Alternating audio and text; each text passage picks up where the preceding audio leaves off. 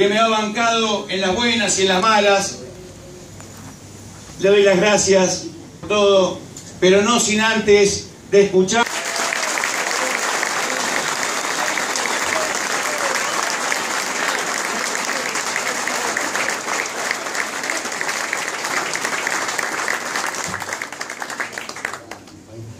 Bueno, buenas tardes, compañeras y compañeros. Después de escuchar a nuestro compañero y amigo gerente, Daniel, que bien se refería al orgullo que, sentimos nosotros, los ferroviarios, en una histórica, emblemática organización sindical como es la Unión Ferroviaria, y tener la enorme responsabilidad a todo el Secretariado Nacional, pero principalmente a todos los delegados, a todos los, los compañeros y compañeras que de una manera u otra nos acompañan día a día para poder llevar adelante no solo la organización sindical, sino principalmente trabajar día a día para mejorar la calidad de vida de los trabajadores y las trabajadoras, trabajar día a día para mejorar las condiciones salariales, para aportar al fortalecimiento y al engrandecimiento de nuestro querido ferrocarril, que eso posibilitó lógicamente que hoy tengamos más compañeros trabajadores y compañeras trabajadoras en los distintos ferrocarriles. Lógicamente falta todavía muchísimo y nosotros realmente esperamos que este gobierno que ha hecho anuncios pero que todavía no ha materializado casi nada, realmente interprete la importancia que tiene el ferrocarril, no solo en Buenos Aires, con la contribución social que cumple, o el rol social que cumple en el transporte de pasajeros, sino también para el interior del país. La importancia que tiene el ferrocarril en el desarrollo de las economías regionales, etcétera. Y en la época de Perón con los países hermanos. Qué bueno que tenemos una compañera que apunta acá, está muy bien, muy bien compañera. Eh, realmente para nosotros es un orgullo conducir esta organización y hoy cumplir los 24 años y poco más de tres años y medio conduciendo a la Unión Ferroviaria después de momentos difíciles, como ustedes conocen, que nos tocó atravesar y en ese momento tan duro para nuestra querida organización sindical. Y dejando de lado muchas cosas, apuntamos todos juntos al fortalecimiento de nuestra querida organización y a trabajar por y para los trabajadores, por y para los ferroviarios activos y jubilados. Y lógicamente, como ustedes saben, avanzamos mucho, logramos muchas cosas, pero también faltan otras tantas. Y en ese camino de tomar como bandera, como bien decía Daniel, una de las cosas importantes que era para nosotros la formación,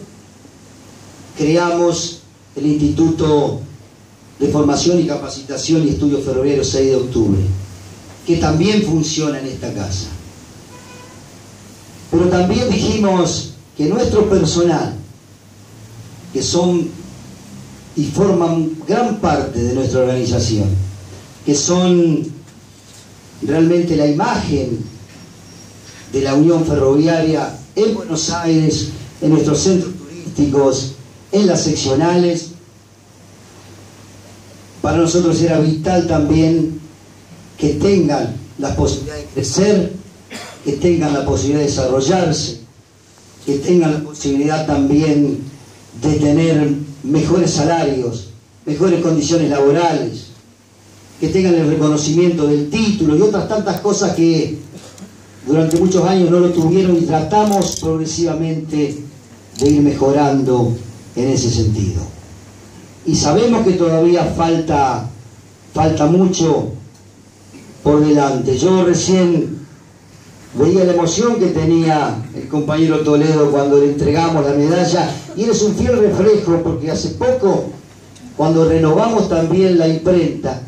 que teníamos una imprenta de muchos años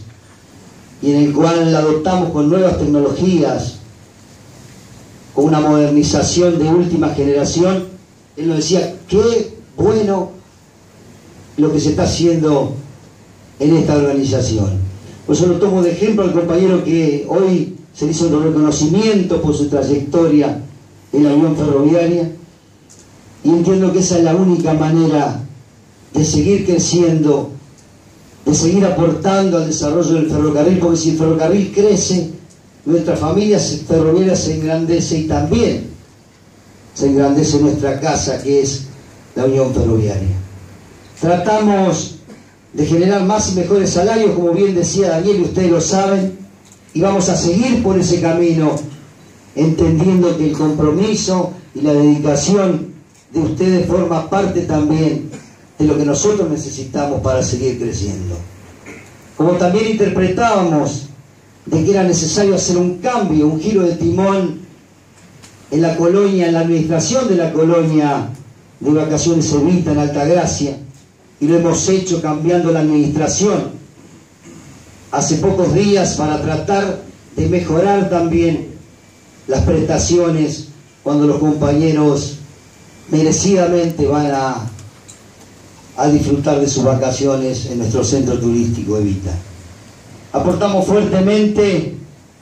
a recuperar progresivamente las seccionales, que hacía mucho tiempo que no había inversiones en las seccionales,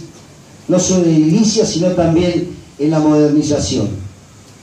Hemos logrado más del 60% materializarlo ya y otras tantas que está proyectada hacia adelante. Y Dios mediante el 21 de diciembre, si no pasa nada raro,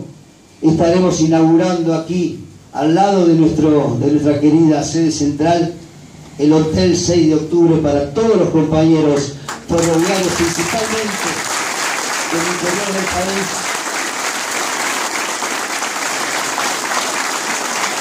Como un, como emblema de la gestión que estamos llevando, que estamos llevando adelante. No se está viviendo momentos fáciles en la Argentina, ustedes lo saben, pero también esa fortaleza y esa unidad que nos caracteriza desde esta gestión, de trabajar todos juntos, de debatir las ideas aquí adentro y hacia afuera, ser uno solo, hizo y hace que no hayamos perdido la fuerza laboral, sino por el contrario, nosotros siempre vamos por más,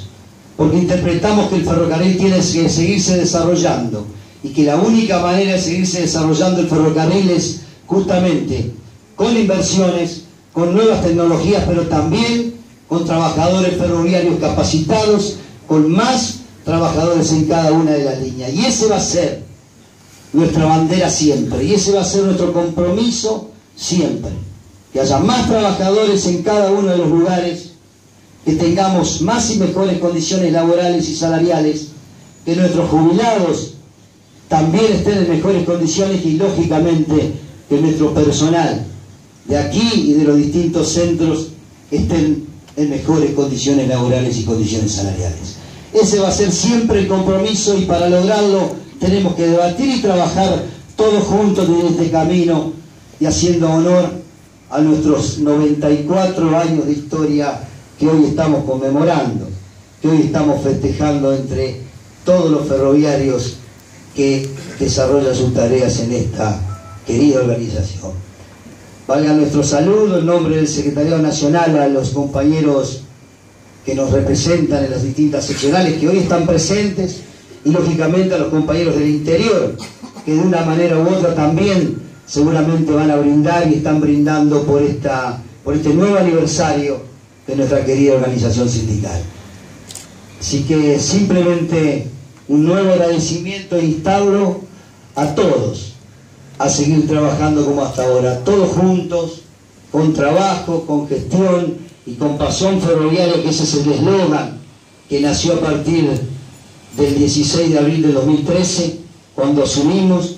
y ese va a ser el eslogan la bandera que seguiremos levantando hacia arriba para que nuestra organización crezca, para que tengamos mejores ferrocarriles y lógicamente para engrandecer y fortalecer a nuestra querida familia ferroviaria, como nosotros decimos. ¡Viva la Unión Ferroviaria, compañeros! ¡Viva la lista verde! Y feliz, feliz 94 años para todos. Muchísimas gracias.